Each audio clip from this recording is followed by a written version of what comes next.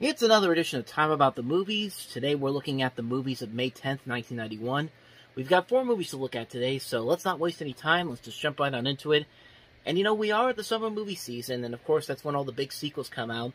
And uh, what bigger sequel could start off the 1991 summer movie season than, of all things, FX2?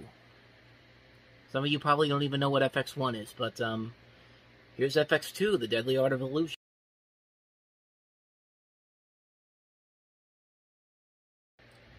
Yeah, like I said, I don't even think a lot of you people really know what the first XF, FX is. I can't even say the name right, but um, uh, the first FX movie was made in 1986. It also starred Bryan Brown and Brian Dennehy, and it was pretty much the same thing as this movie, where you have a designer of film special effects being an action hero. And that's pretty much it. I mean, that's pretty much all I remember from the first movie. And the second one here, it is pretty much just the same thing as the first movie, quite honestly. And it's like, I guess in a way, it's kind of a, it's not really that the movie is bad or anything. It's just a movie that I saw it once, and I never really had anything interesting to say about it afterward. That's kind of what I felt like with the first movie. Second one, I kind of feel the same thing. I saw it once, just thought it was just okay, and then I really forgot about it after a, after a couple days of seeing it. I mean, it's one of those movies where there are some fun ideas. This idea that this guy who's a special effects designer can become an action hero and go up against these bad guys with these special effects that he uses. That could be really fun, cool to see. That could be really interesting to see. It could even be kind of funny too if it's done in the right way. But yeah, like I said, these movies don't really have that effect on people as many as like other action films do. There's just kind of like it's there and then you see it and it's just like you forget about the next couple of days. It's like vapor. It's like vapor going through your ears. It's just like, well, that happened. It's just like, okay. I mean, that's really all I could say about this movie. I don't hate. I don't th- hate these movies. They're just, they're just movies that don't leave a lasting impact to me, quite honestly. And I think a lot of people would agree because I don't think anybody really ever talks about these movies for anything special. And that's all I really have to say about it. I mean, I wish I had some more to say on it to be a little more descriptive about what I see here, but they are what they are. They're movies that they're there, they come by, and then a couple days later you automatically forget about them. That's pretty much all I could say about this movie, unfortunately. So, um, yeah, that's that's FX2 for you. So, um, with that said, let's move on to the next movie, and that is Blake Edwards' latest comedy, Switch.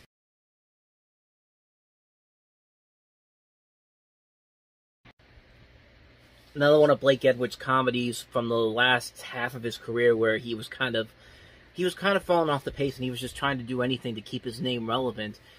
It's a shame that this move that these movies haven't been as good as they should have been because of course Blake Edwards is probably one of the great comedy directors of all time. And it's like right as soon as Peter Sellers passed away, he didn't really have that same track record that he did before. There were a couple of movies he made after the last Peter Sellers Pink Panther movie that actually turned out pretty good, but nothing that really came came to, to that spark that the Panther, the Pink Panther movies had at that point when Sellers was still alive.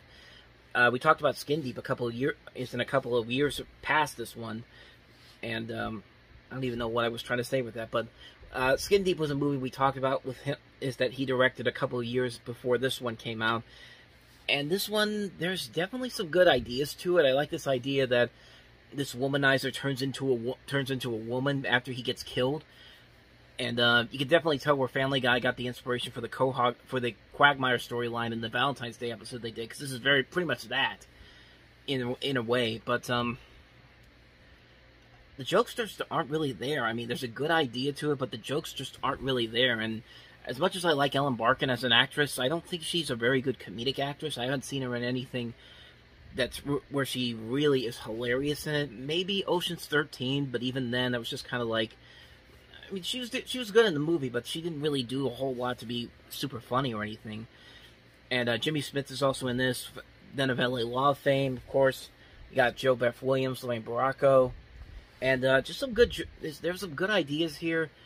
I just don't think the comedy is as good as I think they wanted it to be, and it's a shame too because you could tell Blake Edwards was still trying to ca- capture that magic he had before, and it just wasn't there. It's a movie that's just kind of like, okay, it's just like I get the idea, and it just really you can pretty much descri- you can pretty much p- predict what everything that's going to happen at that point. Unfortunately, and uh, it's a shame too because, like I said, there's a good idea to it. just the wrong execution, unfortunately. Uh, Switch just it overall doesn't work, unfortunately, and again, that's a shame. So let's go ahead and move on to the next movie, which is probably the best release of the entire weekend.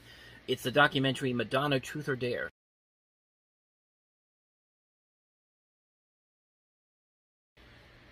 Probably one of the best documentaries ever made. Even if you're not the biggest Madonna fan, you could still find a lot to really appreciate in this movie. I really love the way this documentary is shot because it's not just a typical documentary; it's a very uniquely made documentary. It's a film that just focusing on the backstage life of Madonna, but the way they shoot it, it's kind of like a it's got like a cinema verite style style, while most of the performances are edited to be in color, and um, it's Madonna at her peak. I mean, Madonna made a lot of good music back then, and she still does, and you can make fun of her age and all that, but she's still a very she's still a pretty a pretty entertaining person and a good musician with the later works that she did.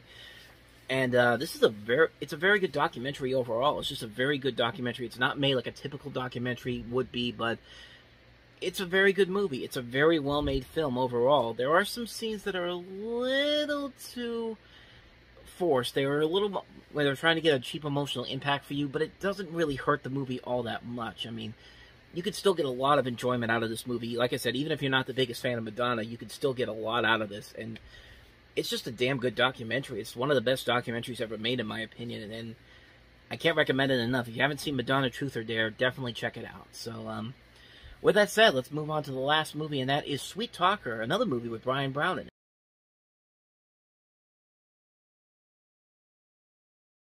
How fitting that we have a show that starts off with a Bryan Brown movie, and we're ending the show with a Bryan Brown movie.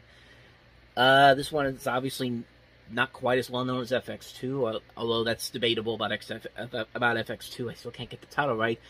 But uh, at least Sweet Talker at least looks like a decent movie. I haven't seen it, so I can't really comment on it. Um, doesn't really look like it has anything that truly makes it stand out. It's, it seems like kind of a formulaic premise to it. And, you know, honestly, that could probably be a good thing about it. It's a movie that I think is a crowd pleaser, and I think it's a movie that, um, uh, when you really look at it, you can, we can all use a little crowd pleasing movie that doesn't feel like it has to be grand or epic or anything in that kind of way. And from the trailer of this, that's what I'm getting a lot from in this movie. And I mean, it could be right up my alley. It might be one I definitely would want to check out one day, especially with Bryan Brown and Karen Allen in it. But um, I can't really comment on it again because I haven't seen the movie. But um, the trailer for this one definitely has more interest in seeing this than it would say FX2 or even the first FX again.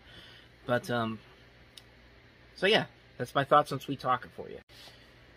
And so on that note, we wrap up another edition of Time About the Movies. We'll delve into the weekend of May 17th next time around with um, some good some good movies. Uh, Bill Murray and Richard Dreyfuss and What About Bob. We also have Brian Bosworth in the So Bad It's Good Stone Cold.